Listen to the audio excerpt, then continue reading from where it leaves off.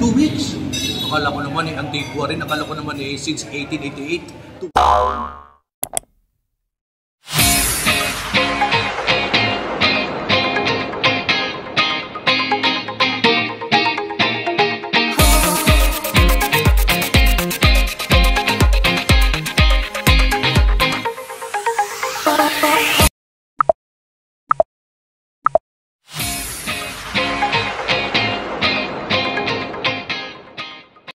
Noel Vlogs!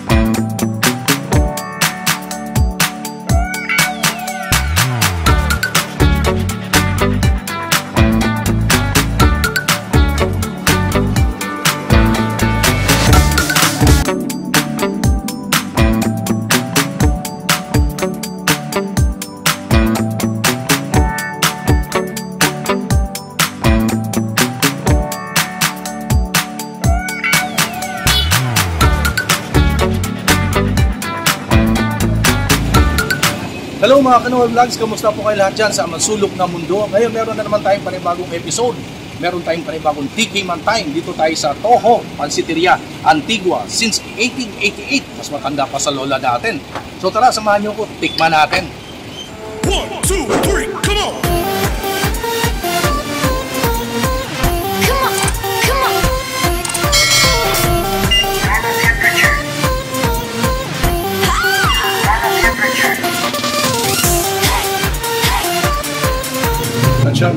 Dala natin yung ating vaccination card kasi kailangan eh. So nandito na tayo sa loob ng Toho, Pansiteria, Antigua. Ah.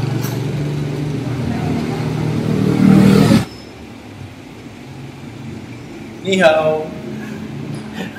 Magandang araw. Magandang araw. Kamusta na kayo, sir? Mayaman po. Ano po pangalan nyo? Kahit Kyle. Ayan, so, kayo po may-ari ng Toho? hindi po. Ah, dad ko po yung may-ari dito. ah, dad mo. So, yung pangilang generation na po kayo ng Toho? Kaya po pang Pang, buhatay. pang fifth? Kasi nakalagay, nakita ko, since 1888. Mas matanda pa yun sa lola ko. Ah. Ah, since 1888 nag-start, pang ilang branch na po ang meron ang Toho? Ah, ito po yung main branch sa Binondo. Ah. Ito yung main branch sa Paranaque. Sa President's Avenue. Meron doon. Tapos, Sa SMBF. SMB, yeah, BF, meron din. So, Nag-attend po kasi doon yung kapatid ng dad ko. ah, okay. So, Parang talagang ano to, family lang, family. Family run business. So, pang fifth generation na kayo. Kasi, tagal ko nang gustong puntahan to eh. Ngayon lang ko nagkaroon ng time. So, gusto ko matikman yung ah, ah, Toho Pansiteria Antigua. Since 1888, ang tagal na, di ba? So, si Sir Kyle, ang ah, fifth generation na sila ng ah, Toho. Maraming salamat, Sir Kyle, sa inyong ah, ah, masarap na pansit. Ayan. So, matikman ko na finally. So, order po ako ha.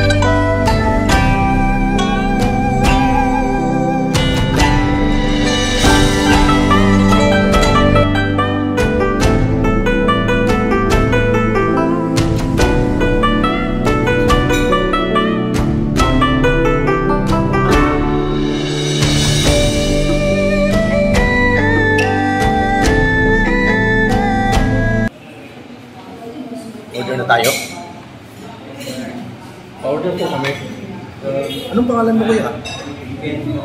Kian. Gaano ka nakakatagal dito sa Toho? Two weeks. Akala ko naman eh, Antigua rin. Akala ko naman eh, since 1888, two weeks pa lang pala si Kuya Kian dito sa Toho.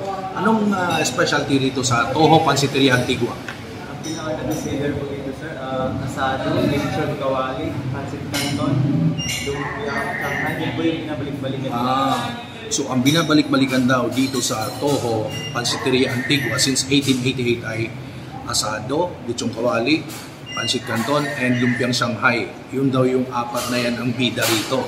So since yun ang bida dito, yun ang titikman natin, of course. Water muna tayo while waiting sa food na in-order natin. At habang naghihintay tayo sa ating ah, food, meron akong shoutout, special shoutout. Isang masugid na taga-subaybay, uh, taga-panood sa aking YouTube channel, kay ah, Geraldine Dingkong. Ayan. Shoutout sa iyo, Geraldine Dingkong. And of course, uh, nag-YouTube din yan. Meron din yung YouTube channel si Geraldine Dingkong. Maliit pa lang yung kanyang ah, YouTube channel. So please support ha, Geraldine Dingkong. Suportahan po natin siya. Ito yung kanyang YouTube channel. Ingat ka sa mansulok ng mundo at ng Pilipinas kung nasaan ka naroon. Ingat lagi. Stay safe. Ah, yan na yung order natin. Work asado sa fish. Wow. Ayun, no? Ito po yung actual price na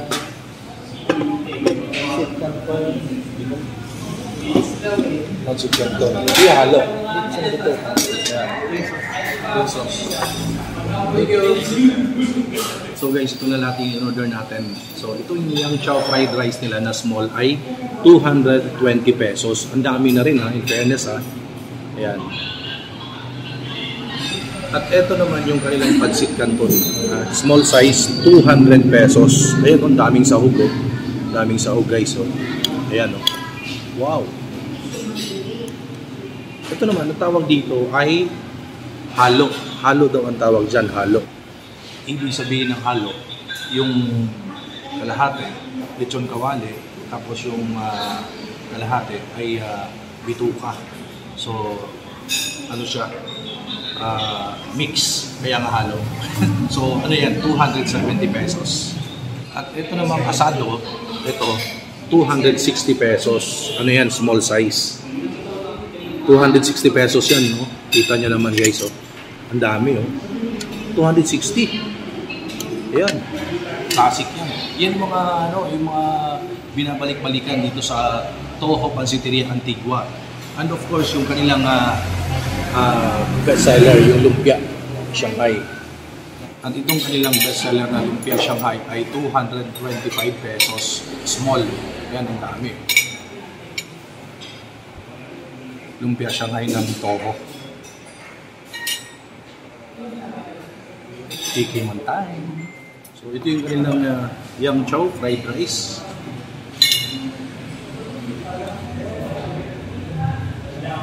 Another food trip in Binondo. Sa Binondo po ito ah, since 1888.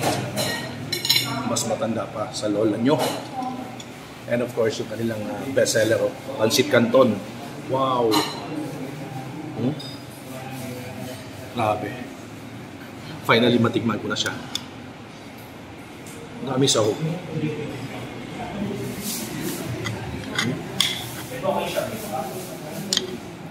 Lumpia Shanghai naman. Lumpia Shanghai. Yan. Mamaya naman. Ito naman yung kanilang ah, asado. Para siyang ano, no? Para siyang ah, para na siyang ham. Cold cuts, ganun. Tikman muna, tikman muna natin. Ito daw yung best seller ng Toho. Asado. Wow.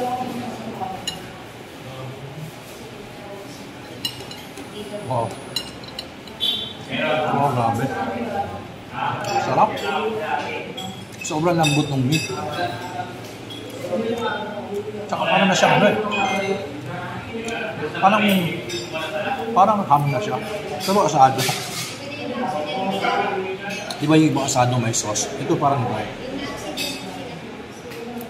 Samahan nga natin ng konting uh, yam chow.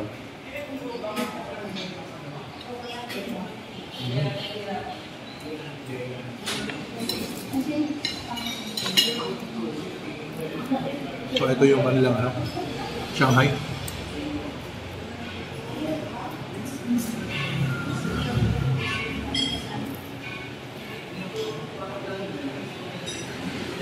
Mas marami yung meat. Kasi sa iba yung Shanghai, mas makapal yung wrapper, yung balot eh. Ito mas marami yung meat. Lasa-lasa mo yung meat.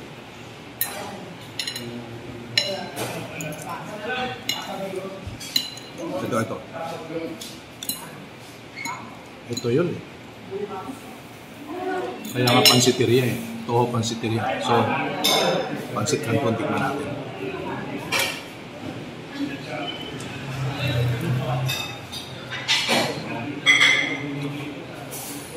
Champion.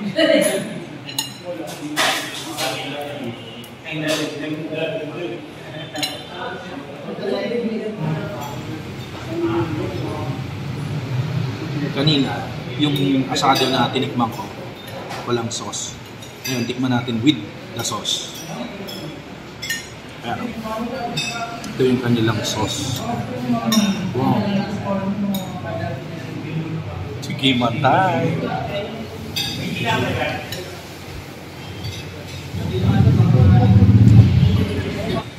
Mas gusto ko yung uh, uh, original flavor without the sauce. Kasi wala sa ano talaga yung uh, asado na meat ng uh, toho. So, yun yung original na flavor talaga. Itong may sauce, iba naman. So, depende po sa inyo. Iba kasi gusto may sauce. Ito naman po ang tawag dito sa recipe na ito ay uh, one of their uh, best seller din. So ito ay uh, halo. 270 pesos. Mix of lechon kawali at saka yung bituka ng baboy. Ayan no. Tignan natin. Ayan no.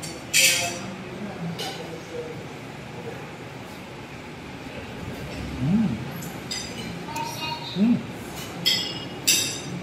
Hindi ko in-expect yun. ah. Kasi hindi naman siya deep fry. eh. So, yung iba, pag gumagawa nito, may aftertaste, may amoy, may something. Pero ito wala. Sobrang wala kang malalasahan. Walang something na kakaibang amoy. So, the best champion. And of course, itong kanilang itong kawali. Yung small size nito, yung halo, 270 pesos. Ito yung kawali.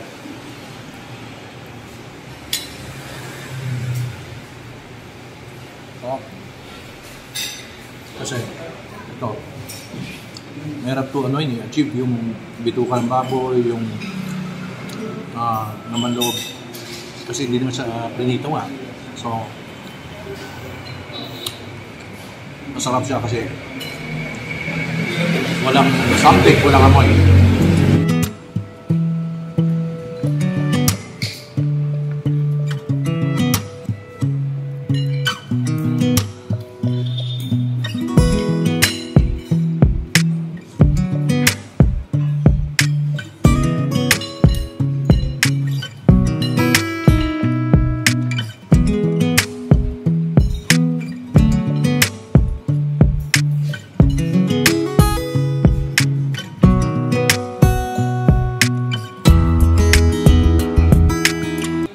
Sino magkakakala guys na matikman natin yung food na since 1888 the oldest restaurant in the Philippines ah, the oldest in the Philippines. Ito na yun, yung best seller nila. We have the asado and uh, yung kanilang uh, famous pancit canton yung halo yung pia Shanghai and yung yang chow fried rice. Ito sarap nito tawagin ay halo. It's because meron lechon kawali at saka pitukan ng baboy yung uh, intestine.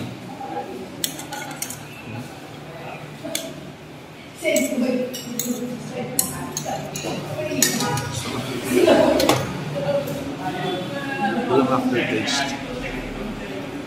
Yun yung pinakagusto ko.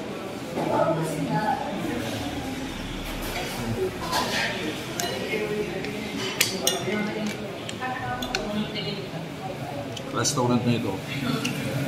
Meron silang uh, five branches, I think, or three.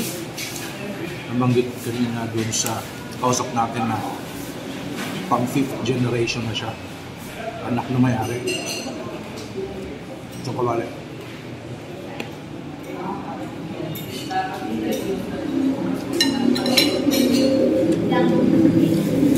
Shanghai. Sabay-sabay mo.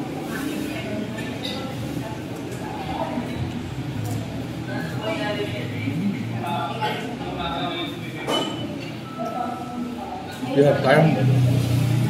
Pasal kayo dito. Toho. Since 1888.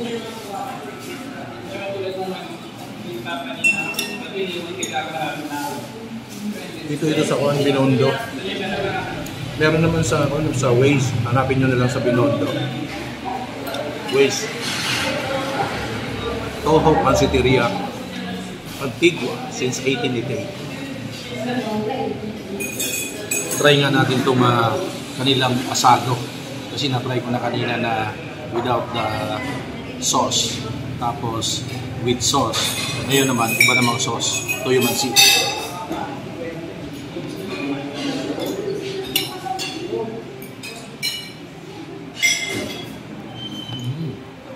Pwede na yan.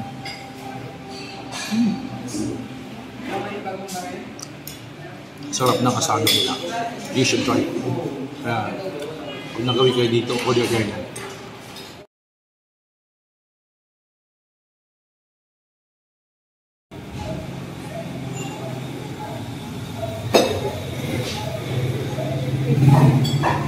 Meron pa tayong take out oh. Hindi natin naubos. Sobrang dami ng ah, serving dito sa Toho.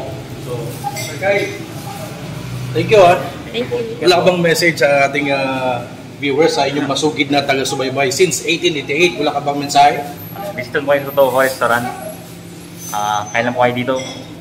Meron kayo na vaccine card. Binondo po. Sige. Thank you, thank you Sir ah. So, maraming maraming salamat sa panonood sa aking YouTube channel Noel Noel Vlogs and please don't forget to subscribe, hit the bell button all para update ko kayo every time na meron tayong bagong video. So thank you guys, thank you. God bless us all.